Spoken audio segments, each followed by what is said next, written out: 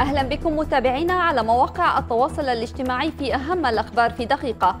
عملية أمنية لملاحقة فلول داعش في صحراء الأنبار. المكسيك تنقذ 300 مهاجر كانوا في ظروف مروعة. الإمارات تتعهد بتقديم 100 مليون دولار للشراكة العالمية من أجل التعليم. ومسؤولون في مجال الصحة في أمريكا يقولون أن تفشي الإنفلونزا يزداد سوءا. دراسة حديثة تؤكد أن العنب يعالج الاكتئاب والقلق.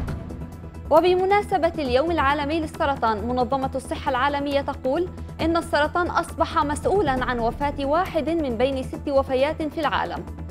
خبيرة في التغذية تقول إن تناول قطعة بيتزا في الصباح أكثر فائدة للصحة من تناول رقائق الكورن فليكس مع الحليب والسبب أنها تحتوي على بروتينات ومكونات أكثر فائدة ومعدل أقل من السكر.